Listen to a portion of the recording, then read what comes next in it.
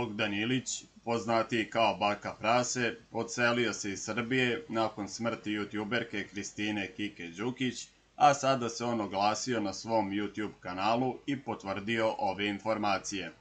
Veliko poštovanje, dobrodošli na kanal Srbija Info. Ukoliko vam se sviđa sadržaj, podržite rad kanala tako što ćete ga lajkovati i zapratiti. Otišao sam iz Srbije, vrlo verovatno trajno. Dobijao sam pretnje od toga da će me prebiti do toga da će me ubiti. Jednostavno nisam mogao da se nosim sa tim pritiskom. Preselio sam se u Amsterdam. Trenutno sam u stanu kod mame i tate.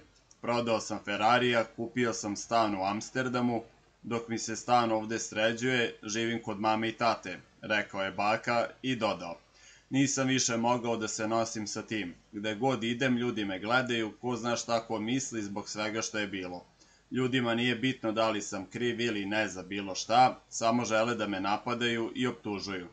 Ne znam šta će dalje da bude, nemam nikakav plan.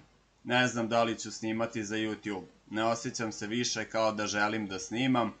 Drugo, moram da počnem da radim neki posao običan i da zaradim za život ovde, pošto je ovde živeti skupo. Neću snimati za YouTube jer mi oduzima mnogo vremena, jer ne zarađujem ništa zbog toga što više nemam ni sponzore, nikakvu zaradu, ni monetizaciju, sve mi je ukinuto, rekao je u svom videu na YouTube-u Bogdan Ilić.